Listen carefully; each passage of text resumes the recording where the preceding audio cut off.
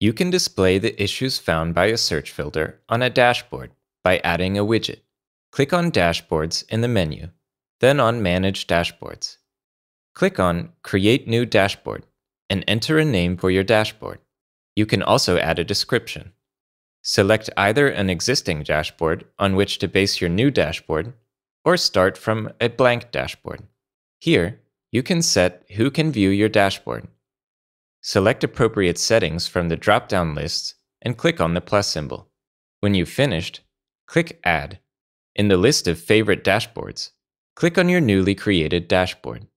Now, click on Add a new gadget to see the available dashboard gadgets. Type Filter Results in the search field. Then click on Add Gadget. Enter the name of your filter in the Saved Filters field. Then enter the number of issues you want the gadget to display. You can change the order of the columns or add more fields. You can also set how often you want the gadget to refresh. When you have finished, click on Save. You will see this dashboard in the menu under Dashboards.